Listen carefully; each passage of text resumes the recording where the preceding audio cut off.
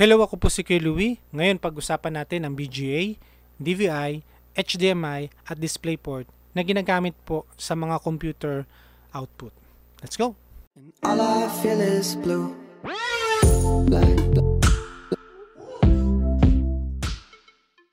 Unahin natin ang BGA. Ito po ang itsura ng BGA. Kulay blue po siya. And may mga pin pong ganyan at meron po siyang iniikot. Locking mechanism po niyan. We have the DVI, kulay puti na po siya at iba na po yung mga metal pins po niya at may locking mechanism din po siya. We have the HDMI, ito po yung itsura, at display port. Ang BGA po, ang ibig sabihin niya ay Video Graphic Array. Ito po ay 15-pin BGA connector na ginagamit po sa mga computer monitor, mga lumang compu- computer monitor at projector. By the way, ang meaning po ng array isa ng impressive display. Hindi po yan yung damdamin na naran- naramdaman ninyo nung kayo iniwan nung expo ninyo. Ah, joke lang. Ang BGA po ay ginagamit since 1987 pa. Napakatagal na po ano, tatlong dekada na. Pero kahit ako, gumagamit pa rin po ng BGA. Kasi ang computer monitor ko po ay luma pa rin. Ang BGA po ay analog signal. Ito po yung itsura ng analog signal. Ibig sabihin po niyan, lahat po ng data, number, letters, uh, mga video, image, ay nasa analog signal na magta-travel mula po sa system unit papunta po sa computer monitor. Ano ba ang analog signal? Para maintindihan po natin to, explain ko po ito sa maikli. Ang analog signal po ay yung katulad po siya ng lumang TV natin na meron tayong antena sa bubong hindi po ba may channel na malabo doon at may channel po na malinaw? Kailangan nating iikot pa yung antena natin para makuha natin yung magandang reception ng isang channel. Yun nga lang, yung ibang channel maaring lumabo. So yun ang ibig sabihin po ng analog signal. Para mas maintindihan pa po natin, ito po yung screenshot ng screen resolution ko po. Pong monitor, 1368 po yung horizontal at 768 vertical. Uh, na-explain ko po ito dun sa nauna kong video. May kinalaman po sa pixel resolution and aspect ratio. Pwede nyo po yung panoorin. Pag ganito po yung uh, screen resolution po ng inyong monitor, pwede pa pong gumamit ng BGA. Pero kapag meron kayong magandang monitor at tiningnan nyo yung screen resolution po niya at umabot po ng 9, 1960 by 1080. Basta umabot po ng 1080 yung vertical resolution niya, hindi po magiging maganda o blurred na po yung itsura ng monitor po ninyo. Okay?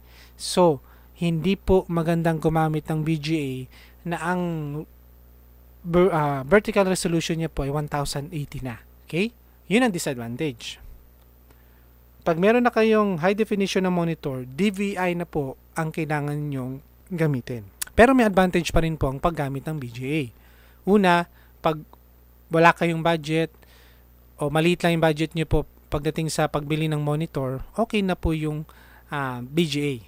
Yan. Lumang mga monitor, gagana po ang BGA. At kung tayo ay ordinaryong computer user lang, sapat na po sa atin yan. No? At ang isa pang advantage ng BGA, meron po siyang locking mechanism. So, hindi siya basta-basta mahihila o mahahatak. Pero ulitin natin, pag high definition na po ang inyong monitor, katulad niyan, ang gagamitin nyo po ay DVI. Ang DVI po ang ibig sabihin ay Digital Video Interface. Ginagamit po ito sa mga computer monitor na ito ay nagtatransmit ng digital mga video, text, images, number, ng resolution po ay as high as 2560 by 1600. So mataas na po yung resolution na to, ano? At ganyan po ang itsura ng digital signal. Okay, para mas maintindihan po natin ng digital signal, yan.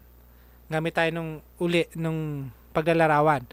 Pag meron kayong ganitong TV, hindi po maganda na bibili kayo nung antena. Hindi po maganda ang quality ng mga channel po ninyo. Ang suggestion ko po, bibili kayo ng mga digital uh, box tulad ng TV Plus. Hindi ko po ano, pinopromote ang TV Plus. Ha? Isang uri lang kasi siya ng digital box para sa mga channel uh, lahat po ng marasagap niyang channel ay magiging maganda sa ating TV. Kasi digital na po yung ah, signal po niya. Although gumagamit kayo ng, ng antenna sa TV Plus, pero kino-convert ng ganitong box na to from analog signal to digital signal. Kaya maganda na po yung reception ng o maganda na yung channel na nakikita nyo po sa inyong TV. So ang DBI po, ito pong connector na to ay kakabit po sa likod ng system unit na ito or sa video card at ikakabit po sa monitor. At magbibigay po ito ng digital signal. So pag ganyan po ang monitor po ninyo, ang mas maganda pong gamitin instead of VGA ay DVI. Pag-usapan natin ang DVI, merong iba't ibang uri ng DVI. Uh, DVI A, ibig sabihin po ng A ay analog. DVI I, ibig sabihin po ng I ay integrated. At DVI D, ibig sabihin po nun ay digital only. Pag-usapan natin una yung DVI A. Ang DVI A po ay nag-aalaw po na ang magpapass through po sa cable na ito, ito pa yung itsura ng DVIA, ay analog, katulad po ng BGA na cable. Pero, eh bakit pa kailangan ng DVIA kung may BGA naman? Bueno, ang DVIA po ay para po sa mas magandang version po ng BGA. Parang ganito po. Ang BGA po, tulad ng pinakita ko sa inyo kanina, ay kaya niya po ng ganitong resolution, 1360 by 768 resolution. So, hindi pa po magbe-blurred po siya. Pero, pag lumagpas po ang resolution nyo ng 768, let's say, aabot siya ng 1080, dun po mag-start mag-blur, tulad po ng sinabi ko kanina. Pero ang DVI, A, ang resolution po na kaya niya is 19020 by 1080 resolution. So, pang high definition po siya. Yun nga lang, analog signal. Kaya, marami po ang nag-phase out na ng DVI-A. Kasi, analog pa rin siya.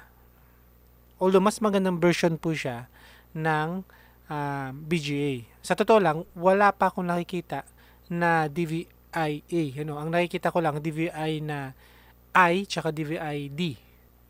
We have the DVI-I, Dalawa po ang uri ng DVI. We have the single link tsaka dual link. Ang sabi dyan, it has a both the analog and digital pin integrated in one convenient connector. Ibig sabihin po niyan, from the word integrated, pwede po siyang analog, pwede po siyang digital. Signal ang dumadaloy po sa kanila. Ang DVI po ay pwede sa analog signal. Para malaman po natin kung yan ay DVI tsaka DVI-D, makikita nyo po dito sa mga video card, likod ng system unit po ninyo. Pag may nakita po kayong apat na square, dyan, tapos may horizontal line na ganyan, no, yan ay DVI-I. Parang ganito. Halimbawa, may DVI-I kayo na video card, tinakpan ko lang yung dalawa, itong dalawa para hindi po kayo ma-confuse. Meron kayong binili na video card na DVI-I pero wala kayong DVI cable. Pwede po kayong gumamit ng VGA at bibili rin kayo ng uh, connector o adapter para ikakabit po ito dito sa ating uh, ah, VGA at ikakabit po dito sa DVI na port. Tandaan po, pag yan po ang ginamit natin, itong BGA uh, DVI adapter, kakabit po doon, analog signal pa rin po ang may bibigay niya. Pero kung DVI na po ang gagamitin nyo dito, at hindi nyo na kailangan to, digital signal na po ang bibigay ninyo sa monitor ninyo. Now, punta tayo sa DVI-D. Ang DVI-D po ay digital only connection. Ibig sabihin, hindi na po uubra yung adapt adapter na para sa BGA papunta sa DVI. Pero, meron pong connector or adapter na DVI siya, tap, pero ang cable nyo po ay HDMI. So, pwede po yun kasi ang HDMI po ay digital din. Mamaya, explain ko po sa inyo. So, yan po yung pagkakaiba ng mga DVI. DVI, we have DVI-A, we have DVI-I, tsaka DVI-D. Now, bakit po may single link tsaka dual link? Ang dual link po kasi ay mas magandang version po ng DVI. Papansin niyo po dito, ang DVI po, ang maximum resolution niya po ay nasa 19060 by 1080 resolution in 60 Hz. So, ibig sabihin po nito, uh, nasa full uh, high definition na rin po ito. Pero may mga monitor na po ngayon na mas mataas po dito sa resolution nito which is 2560 by 16,000 resolution 60 Hz. So doon po magiging uh, mas magandang gumamit ng dual link. Pero tandaan po ito, hindi po ibig sabihin dual link ay laging maganda po yung kanyang video. Sa ating mga mata, minsan hindi natin napapansin na single link lang pala yung DVI cable na ginagamit po natin sa monitor o nakakabit sa monitor. Minsan po kasi masyadong maliit lang yung detalye ng dalawang yan. Siguro yung mga meticuloso lang sa mga video ang makakapansin kung 19 by 60 resolution siya or 2560 by resolution po siya. So again, mas maganda po ang mga dual link DVI kaysa sa BGA. Now, ano ba yung 60 Hz na pinag-uusapan po natin o 60 Hz na yan? Ang mga Hertz po ay hindi po yun yung, again, nasaktan kayo ha, nung iniwang kayo ng inyong ex. Joke lang ulit. Ang 60 Hz, mapapansin nyo dito, ibig sabihin po nun, 60 frame per second. Ibig sabihin, sa monitor nyo po, uh, kaya nyong ilabas anim na iba't ibang frame ng video video per second. So napakabilis na yun. Hindi yun talaga mapapansin ng ating mga mata. Pag sinabi natin 85 frame per second, 85 na iba't ibang frame. Di ba? Pag video, ano yun, mabilis yung galaw. So yun yung kaya niyang ipalabas per second. So magiging maganda yung video na pinapanood po ninyo or yung video habang naglalaro kayo kung mas mataas po yung hertz ng isa. 85 hertz, mga ganun po. Meron pong mga uh, monitor ng 144 uh, hertz. So napaka ano po nun, napaka grabe bilis per seconds po 'yon na frame o frame per seconds. Okay? So malinaw na tayo doon. pero sa paglipas po ng panahon, yung mga flat screen TV ngayon pwede nang gamitin as a computer monitor. May mga computer monitor or flat screen TV na ganito kataas yung resolution. Pansin po ninyo? Under na po sila sa ultra high definition. Sa ganitong case, hindi po, po pwede ang paggamit ng DVI cable. Sa likod po ng mga ganitong uri ng mga ultra high definition na mga monitor or flat screen TV, wala po kayong makikitang DVI port. Ang meron po doon ay HDMI o kaya display port. Mamaya, pag-usapan po natin ang DisplayPort. Ang HDMI, ibig sabihin po niyan ay High Definition Multimedia Interface. Pag narinig niyo po yung sinabing multimedia, magkasama po lagi yung audio tsaka video. Kung ikukumpara po natin siya sa BGA at DVI, ang BGA at DVI po, ang binibigay lang po niya sa monitor ay video.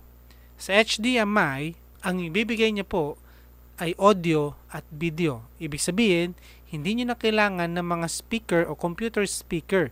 Dahil po dun sa mga magagandang flat screen TV na yan or computer monitor na yan, meron na silang built-in um, speaker. Maraming uri ng HDMI, pero pag-usapan lang natin yung dalawang cable, HDMI 1.4 tsaka HDMI 2.0. Ang HDMI 1.4 ang kaya niyang suportahan na resolution ay 3440 by 1440 resolution na sa 60 Hz. Ang transfer data niya, pag sinabi natin transfer data, pagbabato po ng audio video mula po sa computer papunta po sa monitor ay nasa 10.2 gigabits per seconds. Kaya niya rin pong isuportahan yung mga 4K na computer monitor or flat screen TV pero hanggang 30 Hz lang po siya or 30 frame per seconds lang po ang kaya niya. Yung mga 4K na yan, na resolution ay 4096 by 2160 resolution. Doon papasok yung mas magandang version ng HDMI 2.0. So, ang HDMI 2.0, kaya niya na pong suportahan ang 40K in 60Hz or 60 frame per second. At mas mabilis po ang data transfer po ng, H, ng HDMI 2.0. Pero baka sabihin natin, kung ganun, edi papalitan ko yung nabili kong flat screen TV kasi para lang po siya sa, o ang cable lang niya ay 1.4 o HDMI 1.4 lang. Para magamit ko yung HDMI 2.0. Hindi po. Ang HDMI 2.0 po ay compatible sa mga HDMI 1.4. So, ang mga ganitong monitor, mas maganda po nagagamit tayo ng HDMI 2.0 cable. Pwede rin naman gumamit ng HDMI cable sa mga ganitong uri ng mga monitor. Yun nga lang, kailangan nyo pong gumamit ng adapter. Ito po. Ko-convert po niya from HDMI to DVI. Pero, ang ipoprovide lang po ng cable niya yan ay video lang. Kasi nasa DVI po siya ha. Wala pong sounds. Dito naman po tayo sa DisplayPort. Ang DisplayPort po ay halos kamuka ng HDMI. Nakakapag-transfer din siya ng video, nakakapag-transfer din siya ng audio. Yun nga lang, ang DisplayPort po, papansin niyo po, meron po siyang lock or locking mechanism. Unlike po sa HDMI, yun po ang disadvantage ng HDMI, wala po siyang locking mechanism. So, madali pong mabunot yung mga HDMI. Ang DisplayPort po ay hindi. Yan. Pag pinindot nyo po ito, saka lang po lulubog tong locking mechanism na to. Ito po yung mga DisplayPort. Okay, ano ang advantage ng DisplayPort sa HDMI 2.0? Ang DisplayPort po, mas mataas po yung transfer data niya. Nasa 18 gigabits per second po. At kaya niyang suportahan yung 8K na mga monitor. Yung mga may resolution po na 7680 by 4320 resolution, yun po ang kayang servisan ng mga DisplayPort. Unlike po sa HDMI, hindi po kaya ng HDMI 2.0 ang 8K. Pero ang 8K po ay ano na, overkill na po 'yun. Sobra-sobra na pong laki ng monitor na 'yon. Ang isa pang advantage ng DisplayPort ay pwede tayong bumili ng isang hub or splitter ng DisplayPort tapos pwede tayong gumamit ng tatlong monitor. Bawa, yung isang monitor ay tumitingin tayo sa pagtaas o pagbaba ng piso, yung mga trade. Yung ikalawang monitor naman, naglalaro tayo ng games. Ikatlong monitor, nanonood kayo ng video na ginagawa ko po na tutorial nang hindi po nasisira yung quality ng image or video po niya. Ang disadvantage lang po ng DisplayPort, syempre, gagamitin nyo lang ang DisplayPort sa flat screen TV na pang 8K resolution. Okay, baka maitanong po natin, bakit kaya patuloy na nag improve ang mga monitor natin, mga output connector po natin, mga computer natin ay parang pabilis na ng pabilis. According to Mr. Linus, yun yung paborito ko pong mga uh, YouTube tutorial isa sa dahilan o isa sa pangunahing dahilan kung bakit nag improve na nag improve ang ating mga computer ay dahil sa mga gamers. Mas gusto nila na nag improve yung quality ng mga video na nilalaro nila sa games. So, yan yung dahilan, ano, kung bakit po gumaganda ang ating mga monitors and output hindi tayo magugulat na meron pang lalabas na mas maganda sa DisplayPort. Ngayon, kung papipiliin po tayo kung alin ang mas maganda, VGA, DVI, HDMI, or DisplayPort, para sa akin, ang DVI po at HDMI po ay maganda na. Sapat na po yun para sa atin. Pero kung low budget po tayo, VGA po tayo. Pero kung kaya na nating, gusto natin ng mas magandang quality ng monitor, DVI po tayo. Pero kung gusto natin ng mas maganda pa, HDMI. Pero kung mayaman na tayo at marami tayong pera pambili, na kaya natin bumili ng 8K na mga flat screen TV, DisplayPort po ang kailangan ninyo. Next video po natin ay system unit na. So, pag-aaralan natin yung nasa loob ng system unit. So, I hope meron kayo natutunan dito sa video pong ito. Kung may mali po sa mga nasabi ko, please comment down below para may tama ko po yung mga mali. Maraming salamat po sa panonood and please don't forget to subscribe. Thank you.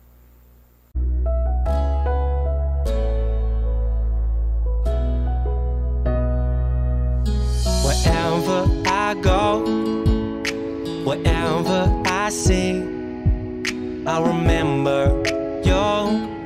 If you remember